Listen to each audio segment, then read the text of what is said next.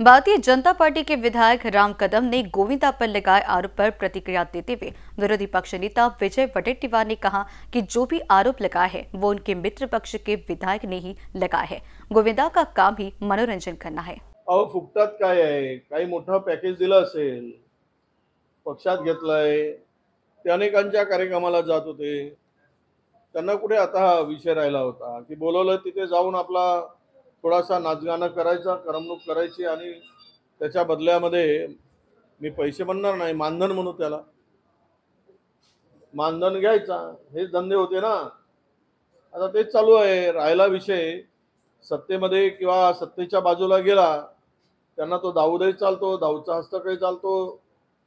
आरोप आम्ही केला नाही. हा आरोप भारतीय जनता पक्षाच्या आमदारांनीच केला आहे. गोविंदा हा दाऊदकडून किंवा दाऊदचा जवळी काय हे जे काही आरोप झाले ते आरोप कोणी केलेत? भारतीय जनता पक्षाच्या आमदारांनी केलेले आरोप आहेत. अशा ने अशा व्यक्तीस किंवा अशा अभिनेत्याला आणून प्रचार करणं त्यामागचा उद्देश हेच आहे की कोणी राहिले नाहीत तर मग आता हिरो राहिला आहे त्याचा वापर त्याचा वापर करायचा.